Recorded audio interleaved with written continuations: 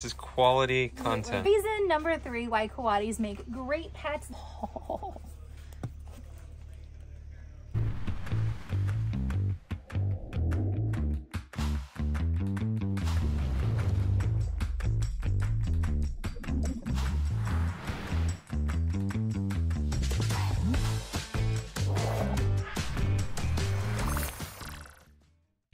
Guys, welcome back to the channel. In the last episode, we introduced uh, our five Coatimundis, including the three new ones that we got.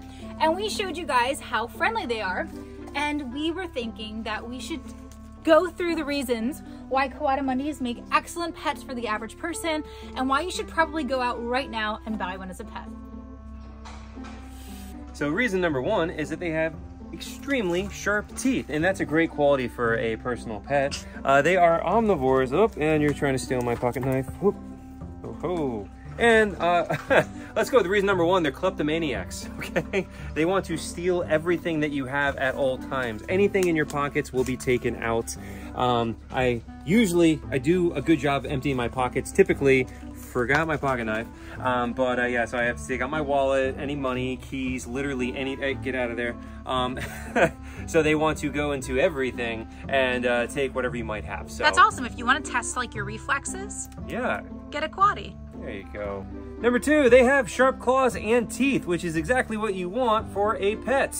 Okay. So, um, yeah, they are omnivores, and so they have very sharp claws to be able to dig around for food, and very, very sharp teeth. This one's got its butthole on my head right now, and uh, but yeah, so very sharp teeth and claws of those things. And so if you upset them, um, they will bite you, and uh, the bite is pretty serious. Uh, one quick very quick bite can very easily hospitalize you requiring stitches and uh, it'll it'll rip you right open Reason number three why Coatis make great pets, they are just so determined and I love that quality about them. In fact, they are so determined if it is your time of the month, ladies, and you have something that they want, they will go in your pants and get them and there is nothing you can do about it. Uh, what, I- what happens if you try to stop them from getting something they want Well, especially in a coati like Lola, if you try to stop her, she will attack you. And that is not sarcasm. And it goes back to reason number two why they make great pets, razor sharp teeth. Yes. So I just I just love their determination. You can't tell them no. They just they will do it regardless. And as soon as you try to stop it it just immediately bites you and makes really cute attack squeaks it's It's adorable just like such a great quality to have in a pet. So like determined and no doesn't mean anything. Like that's great. Another reason is that they are double jointed. And so their little, especially their little back feet, they go like backwards. And so when they're on you, it's like Velcro, like you cannot get them off of you. And uh, so if you try, like, like if she's on me and she's got her claws, ow, like that, those claws don't feel good. Um, so, or no, they, they feel great. It's a great pet. It's great for exfoliation. But yeah, so when she's on me and I'm trying to get her off of me, those feet just like go backwards and they just latch on and you can't get them off. And that's especially helpful when they're biting. And if you love unhealthy, jealous, possessive relationships, Coatis are for you. Because uh, Lola gets very possessive of me, and when the other ones try to come over and say hi or climb on me or whatever, she will attack them, and then they will fight on top of me, and that's really fun. And you definitely don't get bit as well, so it's it's really good. Do you like supporting niche professions? Coatimundis are the pet for you because they can't go to a normal vet. You have to find an exotic vet. And guess what? Because they are raccoons, a lot of veterinarians will not see raccoons or coatimundis, which means if your animal gets sick, you might have to drive three, four hours to the nearest vet just to get them treated. Do you have a ton of money just laying around, like $10,000 that you have in your bank account and you're like, I wonder what I should do with this money. You should get a Coatimundi because they need a ton of space. We have a 40 by 20 enclosure with ropes and nets and nest boxes. And the wire alone probably cost us about $4,000. And we also had to wire the entire bottom. They'll also dive bomb you. So if you like, you know, surprises, you should get a Coatimundi. If you want to hand raise an adorable baby animal that will love you dearly and then suddenly violently turn against you and try to kill you, this is the pet for you.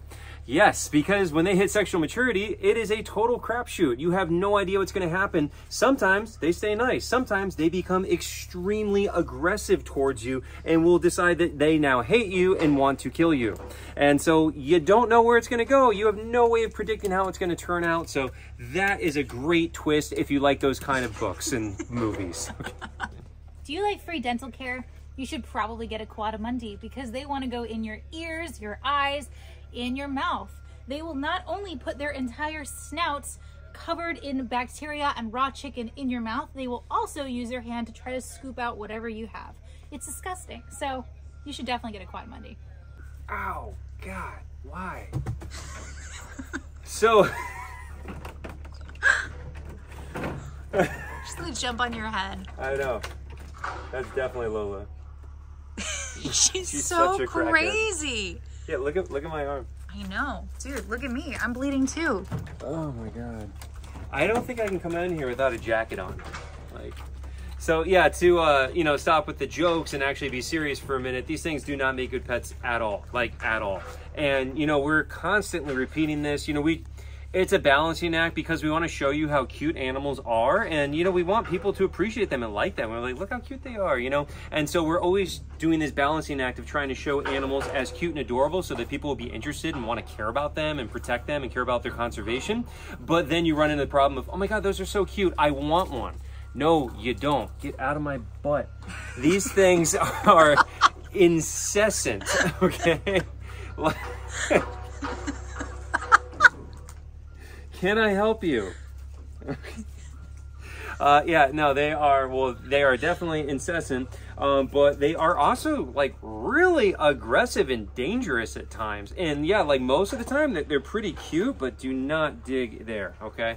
Um, most of the time they are pretty cute and adorable, um, but especially when they get possessive about something or you try to take something away, they will rip you up. I mean, right now I'm bleeding on my arm, and that that's just from them crawling around. You know, it's not a big deal. And they don't just possess over objects. Lola possesses over hands. Yeah. Uh, well, it's just really if you're trying to take anything away. So if it's like right now, this isn't Lola here. Uh, but if, if it, was, if it was, when they're just trying to sniff at you and you're like, "Hey, stop it!" and you try to brush her away, she's going to immediately latch onto your hand. And like their teeth, I mean, they've got. Hey, you stop it. Oh my god! I killed it. I think that's Coco. Coco. Oh. Coco. Oh my gosh. Yeah. Well, get better you than me. Ow. Can you please? We're trying to show everybody why you make a great pet. So, you know, trying to be serious for a minute here without one attacking me. Um, yeah, they're really, really bad pets, and they're so cute and so adorable that, you know, people are like, oh my god, I want one of these things. And, like, you really don't for the reasons we just gave. I mean, first and foremost, it can hospitalize you pretty quickly, especially once it hits sexual maturity. You don't know which way it's going to go. And this is the case with a lot of wild animals. And that's why I've done so many videos talking about domesticated animals versus wild animals and the differences. And so a lot of wild animals, they're very cute, cuddly when they're babies and they love you. And then as soon as they hit sexual maturity, it flips. A good example of how this sexual maturity thing comes into play is our hornbill Zazu. We raised him from a baby, hand raised him. He used to sleep on my shoulder all the time. Then he hit maturity and then he became obsessed with trying to gouge out my eyes. And right now we're doing good. We're at a good point with him. Not with me. I am now. Okay. Maybe not with you, but right now I'm at a good point with him. But it, it flips, it goes back and forth. And, you know, again, it's because he's a wild animal. He's not domesticated at all. Same thing with these guys, you know, uh, when they hit sexual maturity, their personalities can completely and dramatically change, and it can really go bad for you as the caretaker. So we have some construction going on over here, so we'll continue the conversation outside. So yeah, we just really wanted to kind of cover that point that these animals have a lot of requirements. They need a lot of space, you know, they're not going to be able to just live in a small cage or inside of your house, you know, and they are very expensive, you know, to be able to feed them, the vet care, uh, the enclosure. The I mean, monthly prevention for fleas. yeah, so just, I don't, I don't know how to say it without just saying like, thousands, tens of thousands of dollars have already gone into all this. You know, we're spending tons of money on these guys to be able to set them up properly and be able to feed them properly. They need a diversity of food in their diet. They're omnivores. They eat all kinds of different things. So we have to give them a lot of different stuff and then enrichment with their food as well. Having a variety of food is really good for enrichment for them. They're very scent driven as well. So giving them all kinds of weird little things like smelly fish or like cinnamon or, you know, whatever, that's really, really good for them.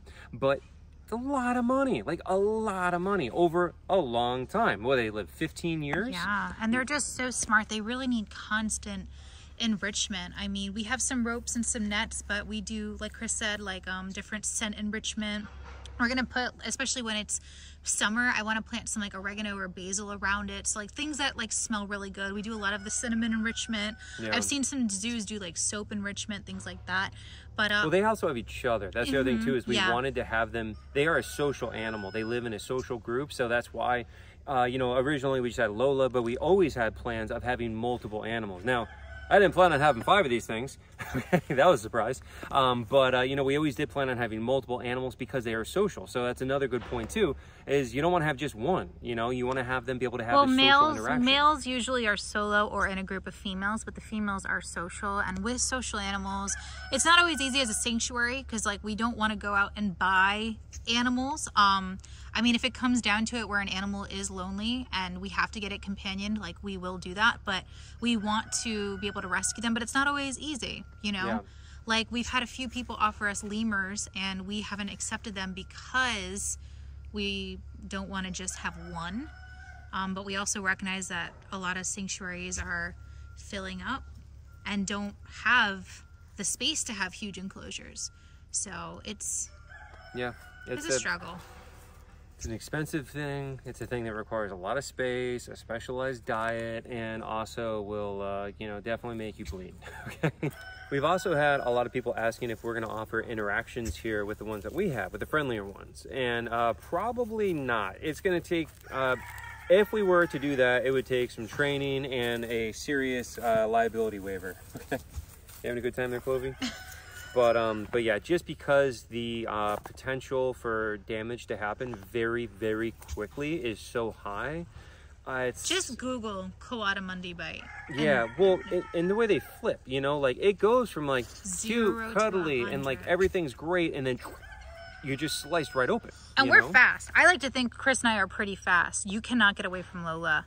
Like e- even as a reflex, if she grabs your phone and you just like try to get, she's quicker. Yeah. We so, we are telling you this from experience. well then i have people in my comments that are just like well if you say that then why do you let them do that?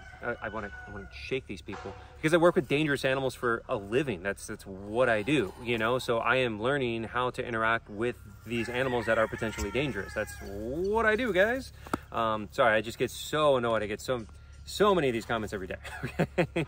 But um but yeah so what i've learned in this case is prevention making sure you don't have anything that she can fixate on and possess on. And uh, so i try to always empty my pockets. Today i, I forgot my pocket knife you know and that Did you that pick could it have up, been- or is it no i gotta go there? grab it. But that, that could have been an issue right there. Like i i really try to be really good like you know try to empty my pockets make sure i don't have anything in there um having proper footwear proper clothing. But even with your shoes, Lola has gone after your shoes before and has tried to like rip rip them up. well with these she's been fine the leather ones. Yeah. Well, So we, we had ones- rubber boots and she was trying to rip them up and eat it, and you you could you can't stop her. Yeah. You have to trade with them. Yeah. Oh my God. Yeah. That, that one too. Yeah. So when they have something, you're not getting it back unless you give them something they want more. Thanks for watching, guys. And you know, just the takeaway we always say is that exotic animals do not make good pets. They are not for everybody. Now, there are some people who are responsible and they do have them and they do a good job, and that does happen, you know. But just like with most things, um, that is the rarity. It is not the norm. The norm is people impulse buy a cute animal and then, you know, once it hits sexual maturity, it rips them up and they get rid of it, you know, and that's what we don't want to have happen. So again, we just want to really emphasize that exotic animals do not make good pets for everybody. And if you want to have a pet, go with domestic or do your research, do your homework, volunteer at a place where you can gain experience with exotic animals, and then maybe you can move in that world once you are experienced in that world. But you know, we don't want to like totally tell people like you shouldn't do what we do because you could try to follow our path as well. We have literally decades between the two of us of experience working with these kinds of animals, and that's why we're able to take these on. But for the normal person, if you don't own exotics, you don't have experience working with exotics, you definitely don't want one of these things.